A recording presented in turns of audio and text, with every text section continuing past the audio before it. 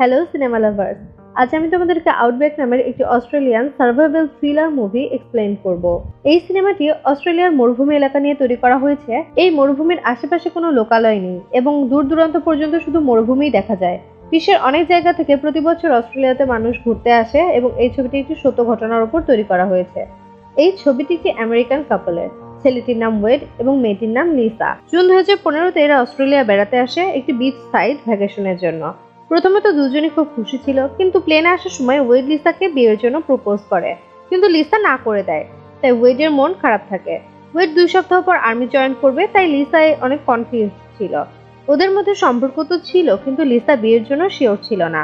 যাই হোক, ওয়েডের ভ্যাকেশনে সবকিছু প্ল্যান করা ছিল। ওয়েড একটি গাড়ি ভাড়া করে এবং কোথায় কোথায় যাবে, কোন রাস্তা দিয়ে যাবে, সব ঠিক করে রেখেছিল। ওর ফোনের সব ম্যাপ ডাউনলোড করে রেখেছিল এবং জিপিএস এর সাহায্যে চেক করে আগাচ্ছিল। দুজনেই বিচে পৌঁছায় এবং লিসা অনেক এক্সাইটেড ছিল। কিন্তু ওয়েট সুইমিং করতে যেতে চায় না, কারণ ওর মন অনেক খারাপ ছিল এবং ও তাড়াতাড়ি ভ্যাকেশন শেষ করে চলে যেতে চায়। কিন্তু লিসা ওকে বোঝায় যে একসাথে সময় কাটানোর জন্য ওদের কাছে শুধুমাত্র দুই সপ্তাহ সময় আছে, তাই দুজনকেই এনজয় করা উচিত। তখন ওয়েডও সবকিছু ভুলে মেনে নেয় এবং দুজন একসাথে খুব সুন্দর সময় কাটায়। তখনই হঠাৎ করে একটি জেলি ফিশ ওয়েডকে কামড় দেয়। ওরা খুব তাড়াতাড়ি পানি থেকে বের হয়ে দেখে ওয়েডের পায়ের অবস্থা খুব খারাপ হয়ে গেছে। কিন্তু ওয়েড এটাকে খুব একটা সিরিয়াসলি নেয় না এবং ওই রাত গাড়িতেই ঘুমায়। লিসা ওদের বলে যে ওদের এয়ার স্ট্রোকে যাওয়া উচিত, কিন্তু ওয়েড না করে দেয় কারণ ও সবকিছু প্ল্যান করেছিল, যেন কোনো সমস্যা না হয়। আর হঠাৎ সিদ্ধান্ত চেঞ্জ করলে কোনো বিপদ হতে পারে।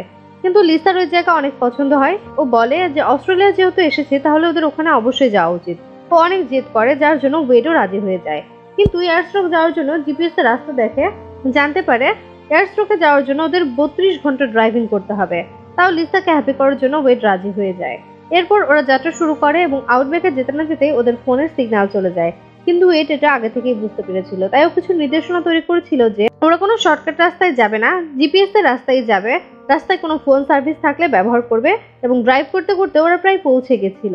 কিন্তু হঠাৎই তখন জিপিএস রিরাউটিং করে এবং জিপিএস এই কাজ তখনই করে যখন কোনো শর্টকাট বা ট্রাফিক ছাড়া রাস্তা পায়। যদিও ওয়েড এমন শর্টকাট নিতে চাইতো না, কিন্তু খেয়ালই করেনি যে জিপিএস রিরাউট হয়েছে।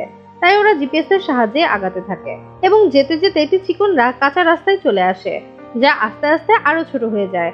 অনেক দূর যাওয়ার পর জিপিএস ইউটার নিতে বলে। তখন ওয়েড বুঝতে পারে যে জিপিএস রিরাউট করেছে। ওয়েড গাড়ি থামিয়ে দেয়, কিন্তু তাও ওয়েড জিপিএস এর রাস্তায় ড্রাইভ করা শুরু করে। কিছু দূর যেতে না যেতে জিপিএস আবার রিরাউট করে। তাও ওয়েট ধৈর্য ধরে অপেক্ষা করে, কিছুক্ষণ পর জিপিএস আবার রিরাউট করে। তখন ওয়েট চিন্তায় পড়ে যায়। তারপর ও গাড়ি থেকে বের হয়ে আসে এবং আশেপাশে চেক করে। যতদূর ওর চোখ পড়ে শুধু মরুভূমি আর মরুভূমি। এবং ওয়েট ওই রাস্তায় গাড়িও নিয়ে আগাতে চায় না, কারণ এইভাবে চলতে থাকলে ওদের ফিউল একসময় শেষ হয়ে যাবে। তাই ওয়েট ডিসাইড করে ওরা উঁচু একটি চূড়ায় যাবে এবং আশেপাশে দেখবে কোথাও কোনো রাস্তা বা শহর দেখা যায় কিনা।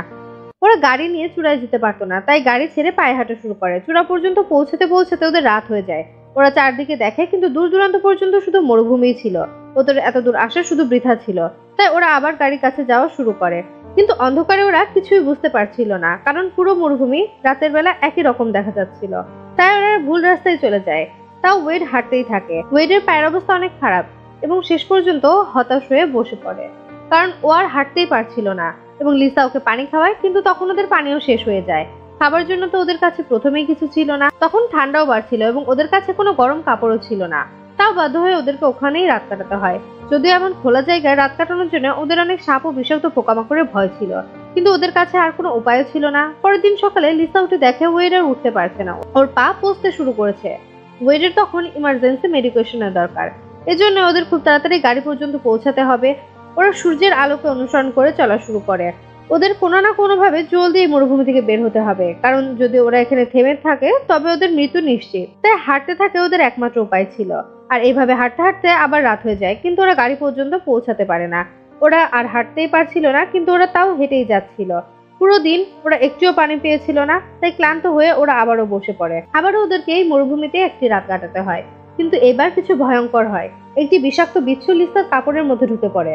পরের দিন ওয়েট ওঠার পর লিসার ঘুম ভাঙানোর চেষ্টা করে, কিন্তু লিসা কোনো রিয়াকশন দিচ্ছিল না। ওয়েট দেখে যে লিসার সারা শরীরের রং বদলে গেছে এবং ওর মুখ থেকে কিছু বের হচ্ছে। ওরা লিসাকে অনেকভাবে ডাকে, কিন্তু লিসার চোখ খোলে না। এই জায়গায় ওয়েট একদম পাগল হয়ে যায়। লিসার চিন্তায় ও নিজের সব ব্যথা ভুলে যায়। ওয়েট অবশেষে লিসাকে কোলে তুলে সামনে আগাতে শুরু করে এবং ওদের পানি শেষ হয়ে যায়, তাই বোতলও ফেলে দেয়। ওয়েডের নিজের পায়ের অবস্থা খুব খারাপ ছিল এবং অনেক দুর্বল ছিল, কিন্তু তবুও লিসাকে নিয়েও সামনে আগাতে থাকে। ওয়েড কোনো না কোনোভাবে লিসাকে নিয়ে গাড়ি পর্যন্ত পৌঁছাতে চায়, কিন্তু এক সময় ওয়েট অজ্ঞান হয়ে যায়। কিছুক্ষণ পর একটি শব্দ ওয়েটের জ্ঞান আসে। ও উঠে দেখে একটি প্লেন যাচ্ছে। ওয়েড অনেক চেষ্টা করে প্লেনকে সিগন্যাল দেওয়ার, কিন্তু এই মরুভূমিতে পাইলটের জন্য খুবই কঠিন ছিল ওয়েডকে চিহ্নিত করা। তারপর ও একটা চিন্তা করে এবং পাথর দিয়ে ওখানে এস ও এস বানায়, যেন পরের বার কোনো প্লেন এই জায়গা দিয়ে গেলে ওদের দেখতে পায়। অনেক সময় হয়ে গেছে যখন থেকে ওয়েট কোনো পানি খায়নি। তাই ওর কাছে একটাই উপায় ছিল, নিজের ইউরিন পান করা। কিন্তু ইউরিন কালেক্ট করার জন্য ওর কাছে কিছু ছিল না। তখন ও একটা ডিসিশন নেয়, ও লিসাকে রেখে আবার ফিরে যায় নিজের পানির বোতল আনতে।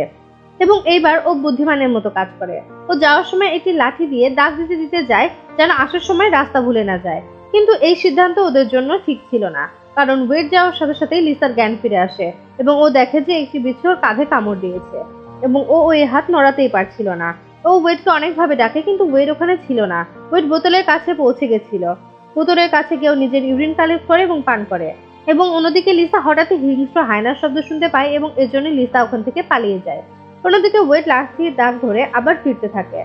ওয়েডার আস্তে আস্তে রাত হয়ে যায় এবং এসে লিসাকে না দেখে ও আরও চিন্তায় পড়ে যায় এবং প্রায় পাগলই হয়ে যায়। ও মনে মনে অনেক রকম চিন্তা করছিল লিসাকে নিয়ে। তাই ও লিসার নাম ধরে চিল্লানো শুরু করে। লিসা ওয়েডের চিৎকার শুনতে পাচ্ছিল কিন্তু বুঝতে পারছিল না যে কোথা থেকে শব্দ আসছে? ওরা দুজনে দুজনকে অনেক খুঁজে। একসময় দুজনে ক্লান্ত হয়ে যায় এবং লিসা অজ্ঞান হয়ে যায়। পরের দিন যখন লিসার জ্ঞান আসে, তখন ও পুরোপুরি ডিহাইড্রেট হয়ে পড়েছিল। প্রায় তিন দিন ও একটুও পানি পান করেনি।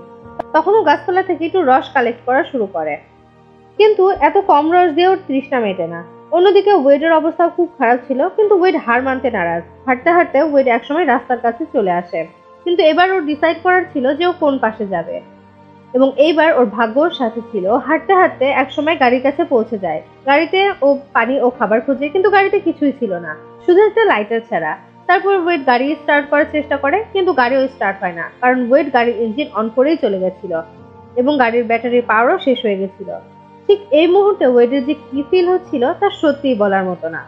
সবশেষে একটি উপায় দেখতে পেয়েছিল, কিন্তু সেটাও কোনো কাজের না। ব্যাটারি পাওয়ার ছাড়া গাড়ি কোনো কাজেরই না। তারপরে ওয়েডের মাথায় একটি বুদ্ধি আসে এবং ও গাড়ির বোনাট খুলে পানি খুঁজতে শুরু করে এবং ও একটু পানিও খুঁজে পায় যা বিষাক্ত ছিল। তাও ও জোর করে ওই পানি পান করে। এই কাজ ও লিসার জন্য করছিল, কারণ এই পানি যতই বিষাক্ত হোক, কিন্তু এই পানি খেয়ে ও লিসার জন্য নিজে ইউরিন কালেক্ট করতে পারবে। মানে ও লিসাকে বাঁচানোর জন্য নিজের জীবনকে ঝুঁকিপূর্ণ করছিল। তারপর ও ইউরিন কালেক্ট করে এবং লিসাকে খুঁজতে যায়। যেতে যেতে রাত হয়ে যায়, কিন্তু ও লিসাকে খুঁজে পায় না, কারণ লিসা একই জায়গায় বসছিল। ওর ফোনে তখনও চার্জ ছিল, তাই ও ওয়েডের জন্য একটি সরি মেসেজ রেকর্ড করে। কিন্তু ওয়েডের অবস্থাও খারাপ। বিষাক্ত পানির জন্য ওর পেটে ব্যথা শুরু হয়েছিল, ওর অবস্থা আরও খারাপ হয় এবং ও ওখানেই পড়ে যায় এবং নিজের লাইটার দিয়ে আগুন জ্বালায়। ওর অবস্থা এতটাই খারাপ ছিল যে ও যে কোনো সময় মৃত্যু হতে পারে। কিন্তু এই অবস্থাতে ওয়েড হার মানতে নারাজ। পরদিন সকাল হয়, এই জায়গায় ওদের আটকে থাকার চতুর্থ দিন ছিল।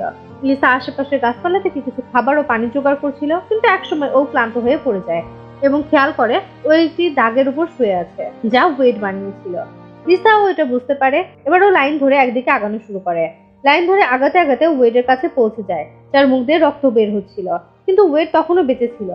ওয়েড লিসাকে ইউরিন দেয়, যেন লিসা ওটা পান করে গাড়ি পর্যন্ত পৌঁছাতে পারে এবং বেঁচে থাকে।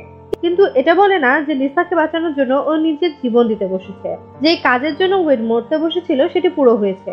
ওয়েড ওকে বোঝায় যে ও পারবে এই অবস্থা থেকে বের হতে। এবং কিছুক্ষণের মধ্যে ও মারা যায়। এই সময় লিসা অনেক পস্তাচ্ছিল ও বুঝতে পেরেছিল যে ওয়েড ওকে কত ভালোবাসতো, কিন্তু ও আর কখনোই ওয়েডকে ফিরে পাবে না। ও ওয়েডের শরীরের উপরই পড়ে কাঁদতে শুরু করে এবং কাঁদতে কাঁদতে রাত হয়ে যায় এবং রাত থেকে আবার সকাল হয়ে যায়। কিন্তু এমন করাতে ওয়েড লিসার জন্য যে স্যাক্রিফাইস দিয়েছিল সেটা নষ্ট হচ্ছিল এবং একসময় লিসা নিজেকে সামলায় এবং ও ওই ইউরিনটা পান করে। আর ওয়েডের বডি ফেলে সামনে আগাতে শুরু করে। ওরা অনেক কষ্টে গাড়ি পর্যন্ত পৌঁছায়। গাড়ি পৌঁছাতেও প্রথমে ওয়েটের দেওয়ার রিং বের করে এবং ও ওয়েটকে হারিয়ে অনেক রিগ্রেট করছিল।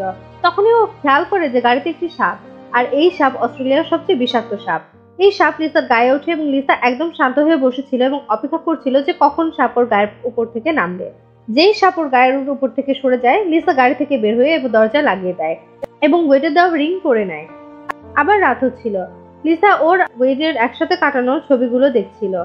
এভাবেই রাত কেটে যায়। পরদিন সকাল হয়। লিসা ভাবছিল ও মরে যাবে।